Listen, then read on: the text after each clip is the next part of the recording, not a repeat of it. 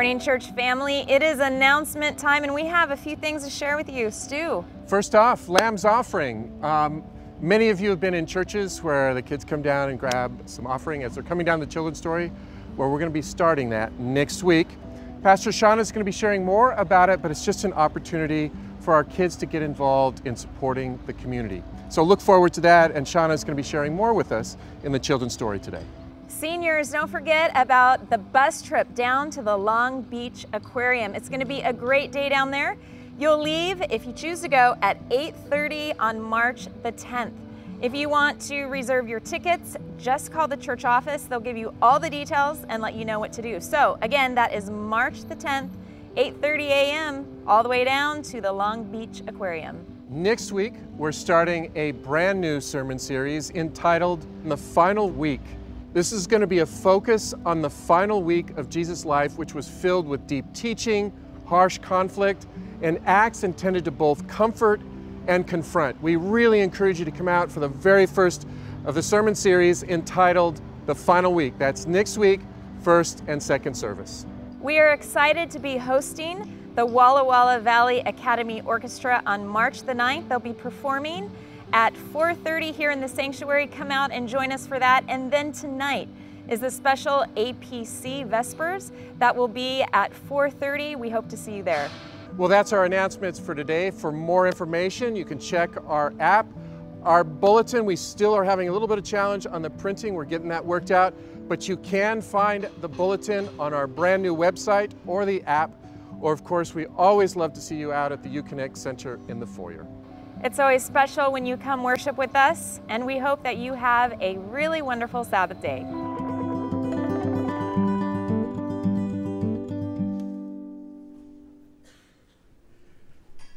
Happy Sabbath, everyone.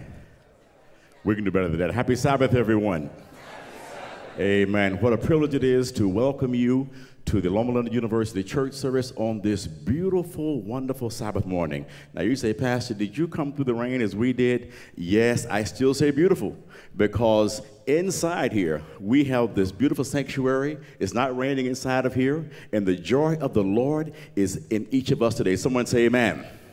We also want to give a special welcome to our visitors, our friends, our family members who may be watching online, the internet, or whatever modality you're watching. We welcome you to this service as well.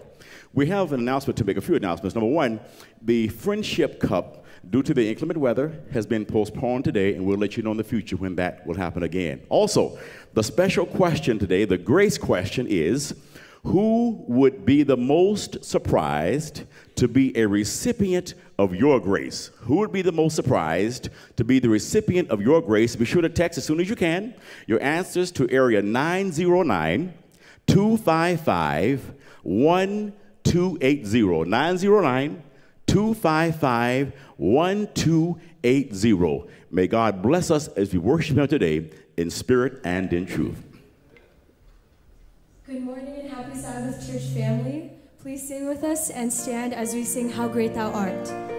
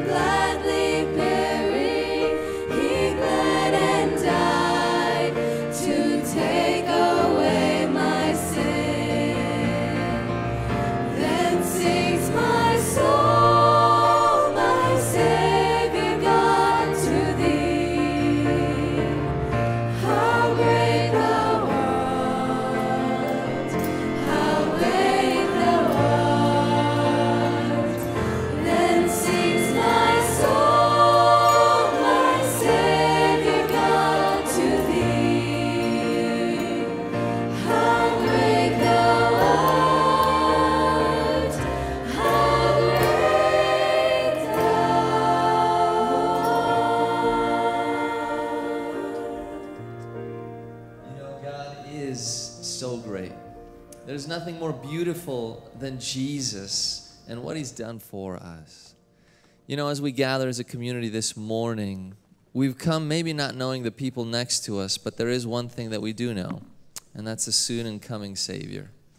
So this morning, would you bow your heads as we pray to him?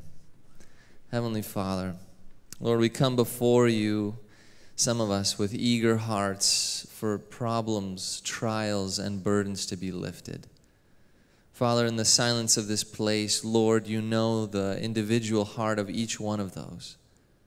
God, would you meet us there? Lord, as a nation, God, we cry out for mercy for those who need mercy. We cry out for justice for those who need justice. Father, we cry out also for help. Jesus, this morning, my prayer is that our hearts will be receptive to the Holy Spirit's word and what you're calling us to hear. Lord, I pray and petition you this morning also. God, on behalf of our community, that we would be known as a community that gives grace not just to our friends, not the, just those who are across the pew, but even those who may persecute us along the way. Father, may we be known as those full of grace as you've given that to us. In Jesus' name we pray this morning. Amen. You may be seated.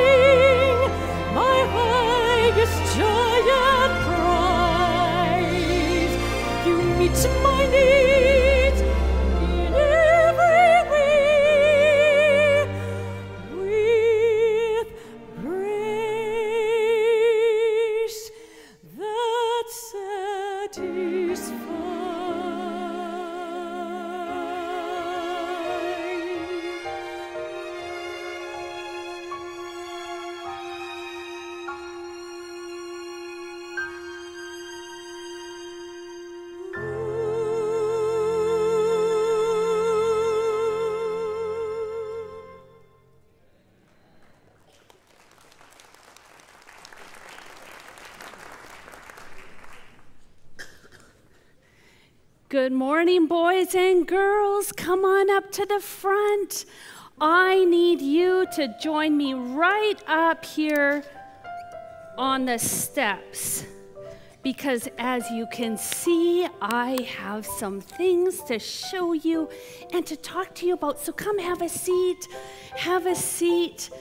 Wow, look at what I brought today. This is a whole lot of money.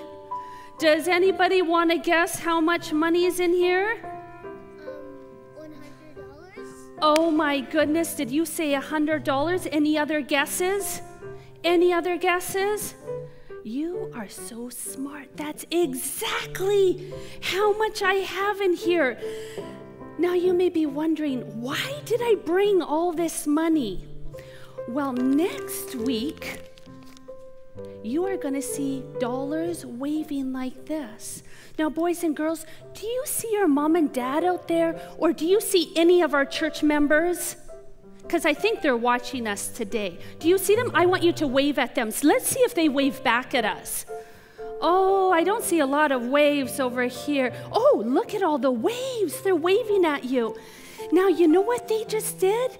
They said they would participate next week by bringing a dollar. Thank you so very much. So they're going to be waving dollars for you, and you're going to collect them and bring them right up here to the front, and there are going to be buckets up here. Now you may be thinking, hmm, that's a lot of money. What are we doing that for? What's the money going to go towards? Well, at this time, we have decided that the money is going to a very important ministry called You Reach Ministry. Now, I know you boys and girls have heard that before because we do things through You Reach for our VBS program.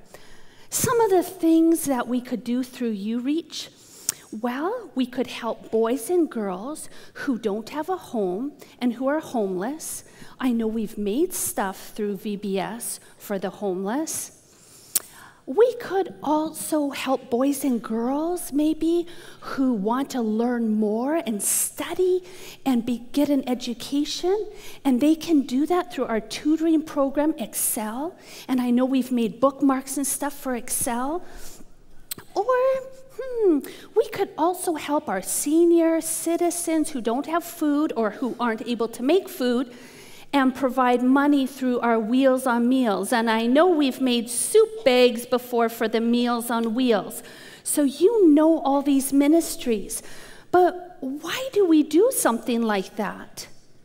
Well, I like to think it's because we want to give back to our community. And you know, I think that a visual may help a little bit because I like to be able to process things and see it. I have a plain piece of paper, eight and a, eight and a half and 11 piece of paper. And let's pretend that each corner of the piece of paper is a blessing that you have received. Oh, when I close my eyes, I can think of a lot more blessings than just four. But we'll just pretend today that we have four blessings, okay? Count them one, two, three, four. Four blessings. My heart is so full and overflowing that you know what? I am going to share my blessing with you. Here you go. Here's a blessing for you. Oh, you know, boys and girls, hold your blessing up. I just gave her really three blessings, didn't I? Let's count the corners. One, two, three. I give you three blessings. And let's see, how many do I have? One, two, three, four, five. How is it that I have more blessings than when I started and I gave her three? Well, if that's the case, I am going to go ahead and I'm going to give more blessings because I feel that God has done so many things in my life that I am so excited. I'm going to give you a blessing, and I'm going to give you a blessing, and you can have a blessing. And now all of you have three blessings. Doesn't really matter how many blessings I have, but let's see how many I have. One, two, three, four, five, six, seven, eight. How exciting is that? I thought I gave all my blessings away. But you know, boys and girls, when we do when we give what God has given to us to others, all of a sudden all the blessings pour back into us, double the amount of the blessings that we give to others. And that's what we're going to do start doing next week and every week after that. We're going to collect money so that we can give blessings to others in the community. Thank you, boys and girls, for listening. You can go back to your seats.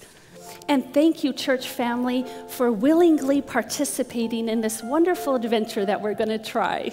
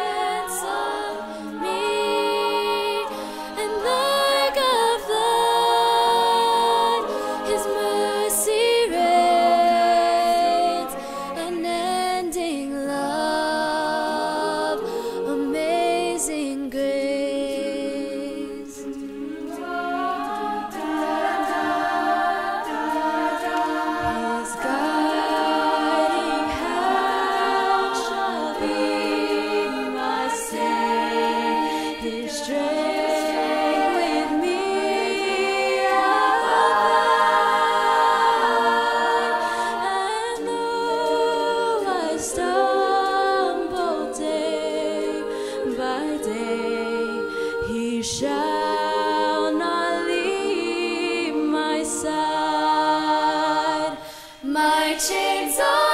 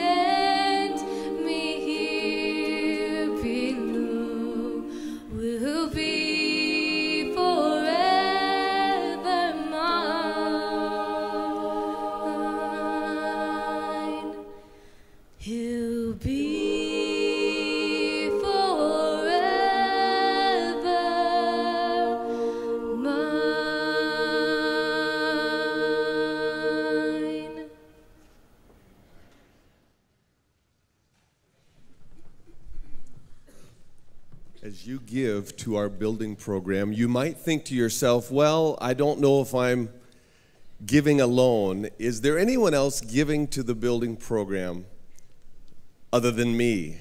And sometimes it's a lonely check that we write, or we go online and we have a reoccurring giving. But, friends, I want to remind you you are in good company. You are part of the family that is ever faithful. Do you know that in the month of January, following our giving season, $70,000 came in? Can I get an amen? January has been a good month, even though it is typically the very lowest throughout the year. So thank you. You're on God's team as we build for his kingdom. Friends, I want to take a moment to give you a little update on our brother and our colleague, Dr. Chemo Smith. He's been in the hospital for the last several days. Many are concerned about him, and I got to visit him yesterday. He looked good. He's in for a case of cellulitis on his leg, and that is what has been so painful, and they've been watching that. He wanted to make sure that his friends and family knew it was not what he had been dealing with before, which was very serious. So we can be thankful for that. Can we pause for a moment of prayer on his behalf? Father, we love our own chemo, and we thank you for giving him to us. Please be near him.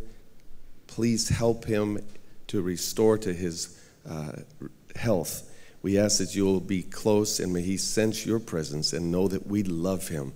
Bring him, return him to us, we pray in Jesus' name. Amen.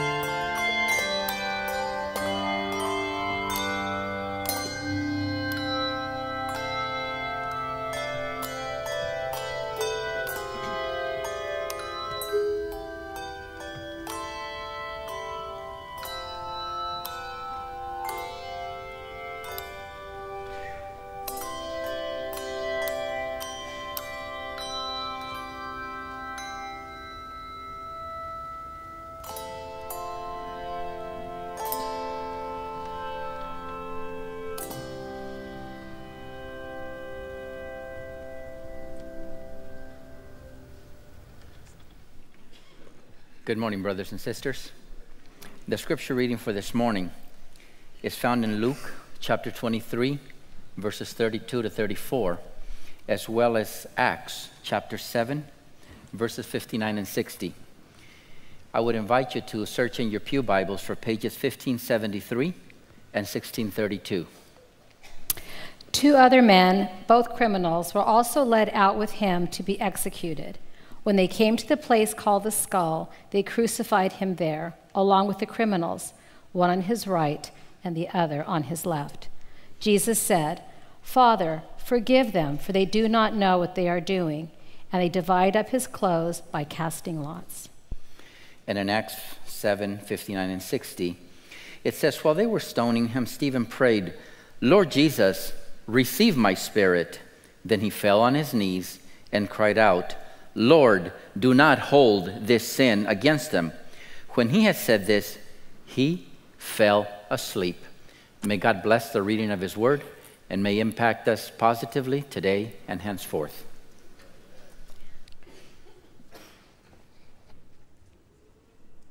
When I think of grace, I remember when I was seven years old.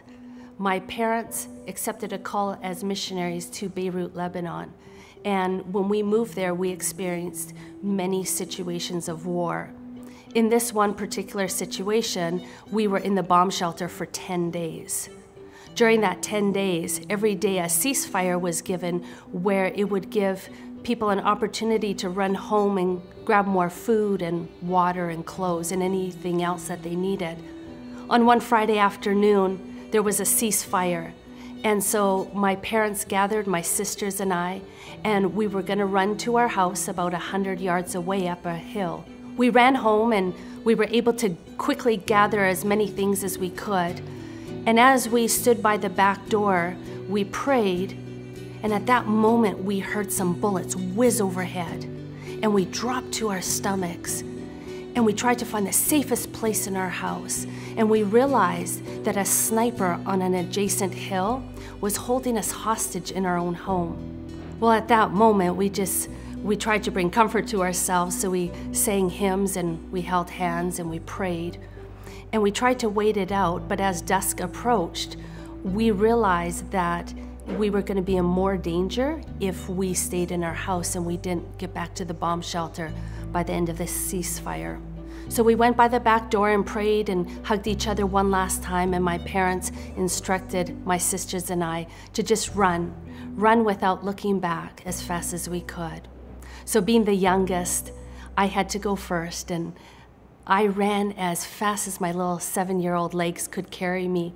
I could hear the bullets whizzing over my head, and I could hear my sisters not far behind.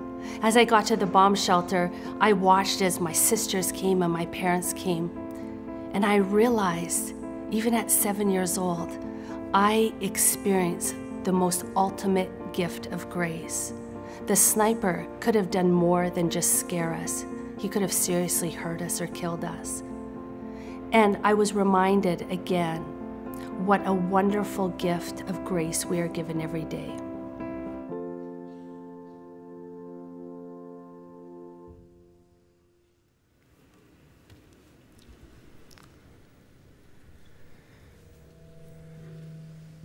Quite some years ago now, there was an advice columnist in this country by the name of Ann Landers.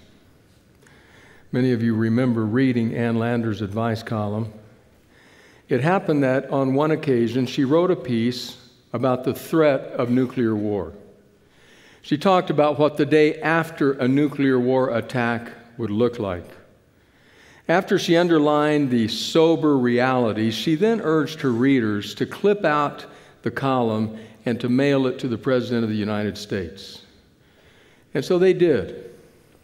Quite a number of them did, enough so that a couple of weeks later, Ann Landers received a letter from the president himself. Recognizing the fact that he had gotten a couple of hundred of her clippings from the paper and that people had written with concern, certainly with the desire and the interest to create possibilities for peace in the years ahead. And then he said this However, I think that you have sent this to the wrong place. It should have been sent to the Kremlin. Bruce Thielemann, Presbyterian minister, reflecting on that exchange, said, Whatever might be your political leanings or persuasions, of this be assured. So often the responsibility rests with the other guys, with the other people. It's their fault. Let them fix it. The 20th century was known for its enemies, for its warfare, for people killing even their own citizens. Jonathan Glover, as he writes a moral history of the 20th century, says that between the years 1900 and 1989, approximately 86 million people died in warfare. That equals about 2,500 people a day, about 100 people an hour for 90 years straight. He goes on to add that in that same period of time, about 120 million people died at the hands of their own governments. Most of them being, about 80 million being, between the communist countries of China and the USSR. In fact, so grim was the situation that some of us seated here can remember, can remember fears of nuclear annihilation, fears of nuclear war to come. Many remember living under that kind of deep concern. But the truth is, we sit in a sanctuary that's dry and warm. We sit here probably not concerned about things that are far beyond our ability to control. When it comes to that question of who's against us and what kind of tensions might exist, who might be our enemies, we have other people on our minds. The neighbor whose dog won't stop barking and who won't do anything about it. The friend to whom we loaned money and not only doesn't pay it back, but now avoids us at all costs. The ex spouse who plays manipulative mind games with the children, who refuses to pay child support the classmate who's spreading vicious and untrue rumors about another classmate. Those are the kinds of realities that we tend to think about, which may call into mind the question what exactly do we mean when we say the word enemy? I want to read you a couple of dictionary definitions of that term, enemy. If you look it up on the, at least on the online dictionary, you'll find that there are a number of entries trying to define and describe that word. The first one says this An enemy is a person who feels hatred for, fosters harmful designs against, or engages in antagonistic activities toward another, an adversary or an opponent. And then there are about four different entries dealing with military kinds of en- enemies. And then one more option the dictionary provides is this enemies are persons, nations, etc., that are hostile to one another. That kind of opens the door, makes it a bit more broad as to who might actually qualify as an enemy. It actually makes sense then what G.K. Chesterton said. G.K. Chesterton once said, The Bible tells us to love our enemies, the Bible tells us to love our neighbors. The reason it does, said Chesterton, is that they're usually the same people. so, enemies, what are we to do with them? Here we come to a last in a series of sermons on grace. You remember the challenge we took up the first week. The challenge was to take seriously what the writer of the letter to the Hebrews had to say about grace. The writer to the letter to the Hebrews said, See to it that no one misses the grace of God. Now, that's fairly easily in many instances. Somebody comes to you who is heavy laden with guilt. I don't know what to do about my guilt. And you say to them, There's grace. You encounter a friend who is covered in shame. I feel such deep shame. There's grace. You find someone who's wanting to grow mature in the Christian life, and you say, There's grace. See to it that no one misses the grace of God. But then you picture that enemy, that other, with designs against you, designs to harm you and you wonder did the writer of that letter to the Hebrews have in mind that person? When the writer said, See to it that no one misses the grace of God, does that include our enemies? I want to take you to two scenes. One is the scene of a crucifixion, the second is the scene of a stoning. There are quite a number of things that are similar about the scenes. One similarity is that in each case, a person of sterling character is being executed. In each case, that person has gotten on the wrong side of the law, either the civil or the religious law, by preaching the abundant, the abounding grace of God. And a system that is rigid and understands God as angry and vindictive cannot take that kind of preaching. And yet they just wouldn't let up. They just continued to promulgate that message to the point where those in charge said they have to be stopped. We cannot allow this to continue. That was true in both cases. In both cases, the experience through which they were about to pass, that which would end their lives, was gruesome and barbaric in the extreme. We have concerns today about not meting out cruel and unusual punishment. There were no such concerns in those days. In fact, the more cruel, the more unusual the punishment, the better, because that would then become a deterrent to others. There were many similarities between the two. There was at least one key difference. In one case, the one to be executed claimed to be the Son of God. In the other case, the one to be executed was a follower, a disciple of the Son of God. There's one more similarity. One more that we have to notice. But we have to look in on the scenes to catch it. Scene number one. He has staggered down the Via Dolorosa on his way to Calvary. The seething, surging, surging mob screams for his blood. The people who just days before proclaimed him Messiah now scream for vindication of this one who is disappointing their hopes. And they arrive at the place. They arrive at that place simply called the skull. They arrive there, and when Luke describes it, his words are spare. His statements are simple. He simply tells us the bare bones outline of what occurred. So we join them, those who were part of that day's experience. We join them in Luke chapter 23, starting with verse 32, where Luke says this Two other men, both criminals, were also led out with him to be executed. When they came to the place called the skull, they crucified him there along with the criminals, one on his right, the other on his left.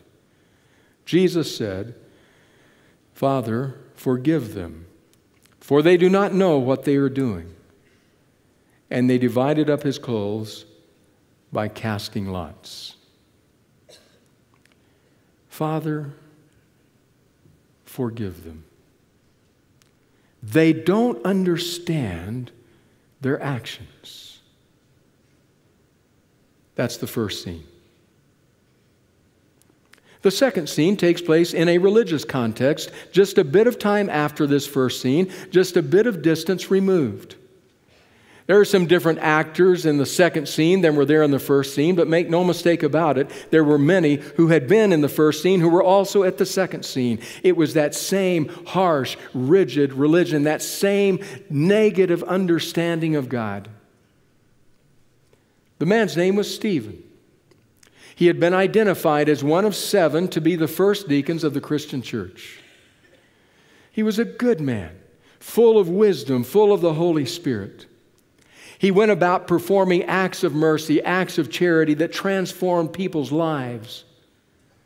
But he also spoke, he also preached And it was probably that more than anything else that got him into deep trouble. They first tried to stop Stephen with their words. They first tried to overcome him with their statements and their arguments and their accusations. But it didn't work. They just couldn't contravene the power that attended everything he said. And so that day came when he too stood before a kangaroo court, a court that was ready to sentence him as he proclaimed this Jesus. In fact, as it reached its crescendo with his proclamation of Jesus, they, they covered their ears and screaming like wild hoodlums, they rushed upon him and raced him outside of the city. Picking up stones as they ran, they knew exactly what they had to do. And it's right there that we join the scene. This time in Acts, same author, Luke having written both the Gospel of Luke and the book of Acts. Acts chapter 7, starting with verse 59. While they were stoning him, Stephen prayed, Lord Jesus, receive my spirit. Then he fell on his knees and cried out, Lord, do not hold this sin against them. When he had said this, he fell asleep. Lord, do not hold this sin against them. I suppose another way you might make that same statement would be to say, Father, forgive them. They don't understand what they're doing. Two men of sterling character our Lord Jesus Christ and Stephen, the first Christian martyr. If you were to take this book and thumb through its pages looking for the best example of how to treat one's enemies, the best example of grace to enemies, I would challenge you to find better examples than those two. After all, it is quite likely that Stephen, either having experienced or having heard about what happened in the first scene, realized that he too had to walk in the same footsteps in the second. What's curious is that in neither passage do we find the word grace. It's not there. But the aroma of grace overcomes the foul odor of death that lingers in the air. Here's an example of how to extend grace to our enemies. So, what might that look like? What might that look like in real life? In those situations we talked about earlier the roommate, the, the ex spouse, the neighbor what might, what might it look like? What might it look like when we encounter, when we engage the culture around us, which many times has become increasingly hostile toward people of faith? What might it look like? Philip Yancey, in his excellent book, Vanishing Grace, tells two stories. Two stories that paint a word picture, helping us understand what it might look like in today's context to extend grace to those who are hostile. The first is actually a story from Donald Miller, author that Yancey quotes. Yancey tells about Donald Miller and a group of other Christ followers making a decision at a university in Oregon to do something during a period of time when there was a festival, a celebration there on the university campus that usually was characterized by drunkenness and debauchery, by hostility toward anything religious. Miller and his friends decided we're, go- we're going to set up a booth there to interact with, to engage with the students who are there on the campus and who are involved in this festival. But we're going to do something a bit different. We're not there to preach to them, to convince them of the correctness of our view, to try to pull them across an evangelistic line. We're going to listen to them and when they have been wounded, by religious people, we will apologize. I want to read to you read to you what Yancey writes of that story. Yancey says, as Miller confessed to one startled curiosity seeker, this is what he said in his confession. Jesus said to feed the poor and to heal the sick. I've never done very much about that. Jesus said to love those who persecute me. I tend to lash out, especially if I feel threatened. You know, if my ego gets threatened. Jesus did not mix his spirituality with politics. I grew up doing that. It got in the way of the central message of Christ. I know that was wrong, and I know that a lot of people will not listen to the words of Christ because of people like me who know Him. We're carrying out our own agendas into conversations rather than just relaying the message Christ wanted to get across. The curiosity seeker was startled. Over the next several hours, Miller and his friends spoke to scores of fellow students. Many people wanted to hug when we were done, he writes. All of the people who visited the booth were grateful and gracious. I was being changed through the process. I went in with doubts and came out believing. The second story Yancey tells. It's the story of a man named Craig Detweiler. Craig Detweiler taught communications and acting and directing and such things. He had students from both Pepperdine University and Biola University that, that accompanied him to the Sundance Film Festival. It's a great festival for independent movies that are made, maybe the best one of such kinds of festivals around. So he would take his students there and they would get an opportunity to see the, the films and the movies and to interact with those who had made them and to learn as part of their class experience. As they were there one year, Detweiler says there was a film that many people wanted to see that was a film that basically mocked Christian faith. They took some of the realities of ways that maybe Christians have behaved over time, maybe some of the unkind and rough edges that have been manifested and shown, and they, and they exaggerated them in the film. And so Detweiler said that he and his friends went to the film. He said it was a blistering portrayal of evangelicals making us, he said, look as bad as one could conceive. There was uproarious laughter, applause throughout the film. Finally, it ended to a standing ovation. There was a question and answer period afterwards with the director.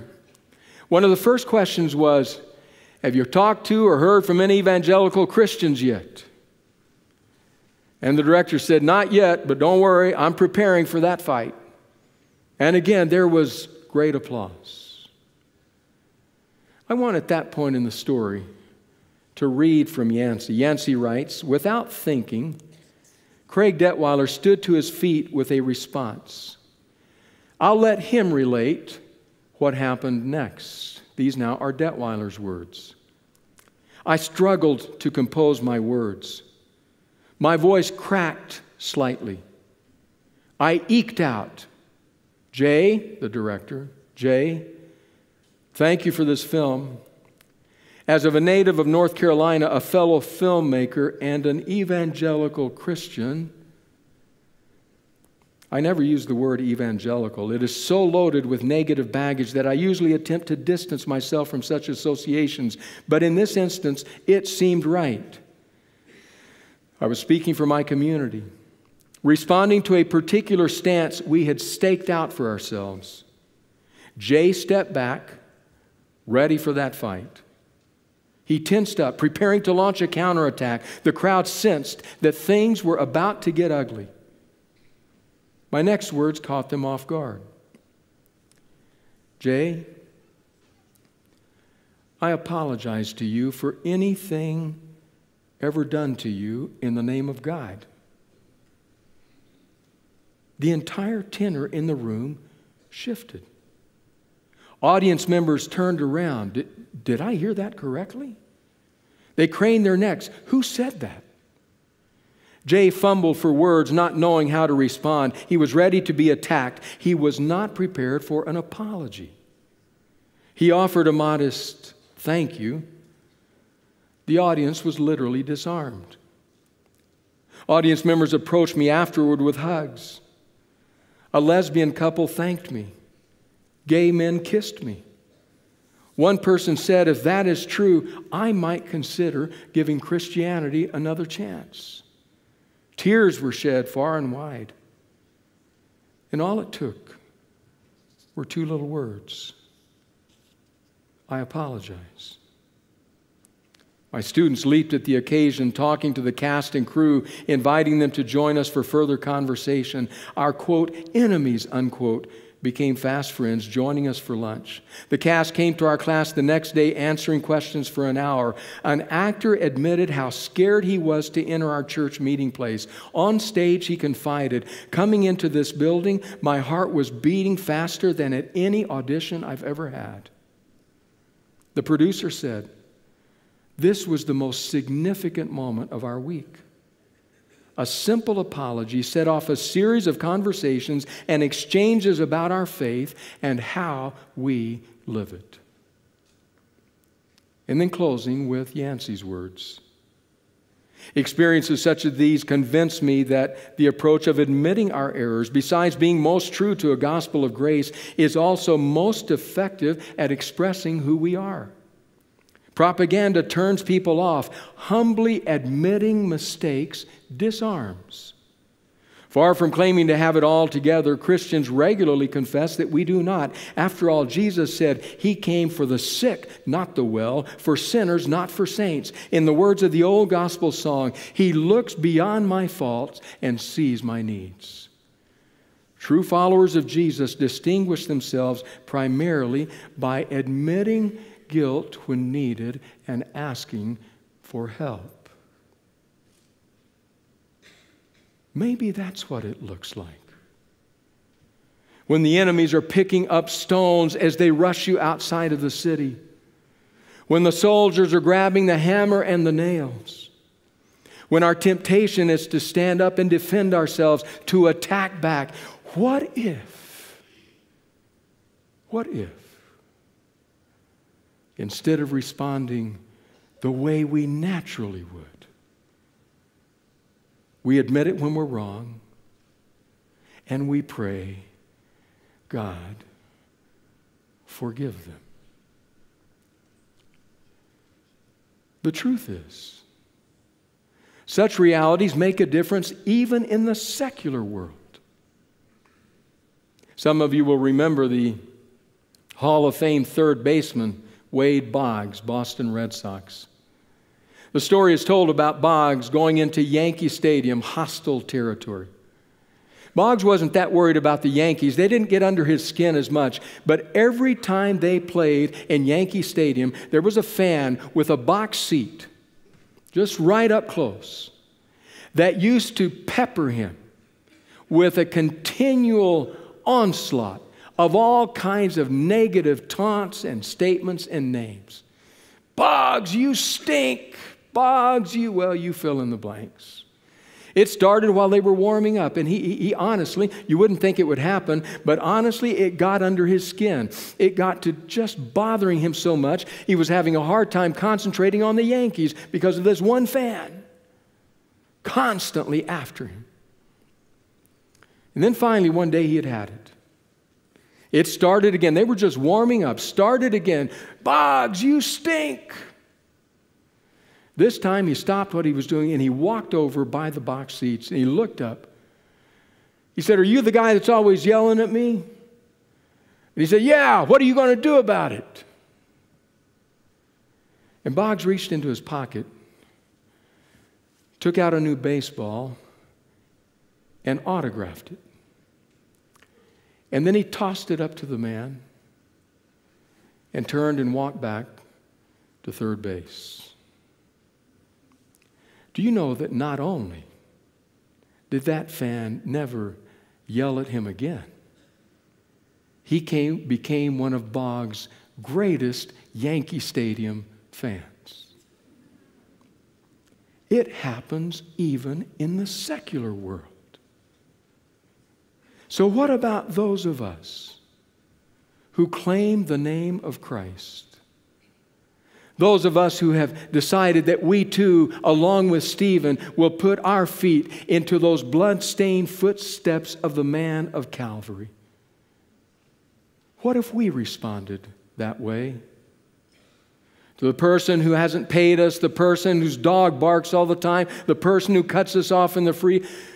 You know who I'm talking about. What if we respond that way? After all, I suspect that while he may not specifically have thought of Stephen or Jesus, we don't know. I suspect that when the writer to the Hebrews wrote those words, see to it that no one misses the grace of God. I suspect he had in mind my neighbor and your ex spouse and that fellow classmate too. See to it that no one misses the grace of God. Stephen saw to it. He saw to it for those, every one of those who picked up stones to hurl. And Jesus prayed for every single one who put him on that cross. For those religious leaders that raced him out of town, down the Via Dolorosa, those Roman soldiers who pounded the nails, and for you, and for me. We put him there too. And he prayed for us. He saw to it that we not miss the grace of God. And now, now it's our turn.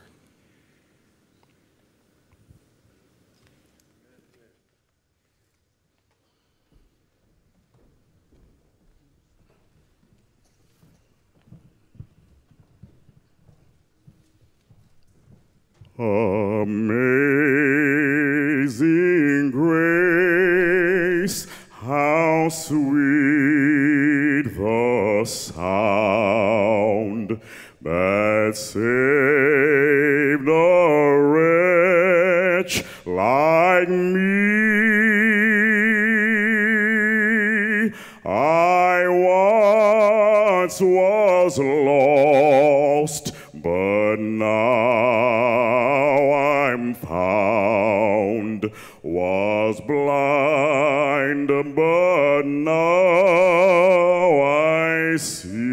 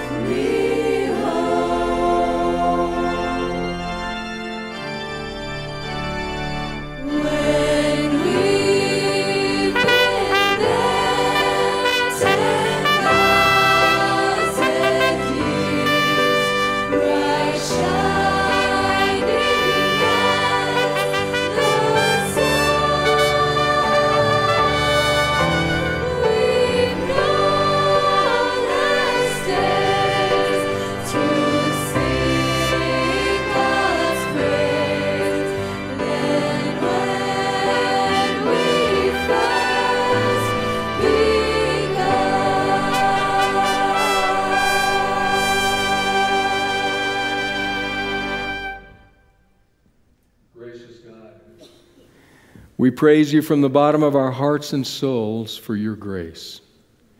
Your grace made most clear and evident on Calvary. Your grace made most clear and evident toward your enemies. Lord, thank you for that example. So fill us with the Spirit of God that we might have the courage and the strength to follow. In the name of Jesus, we pray. Amen.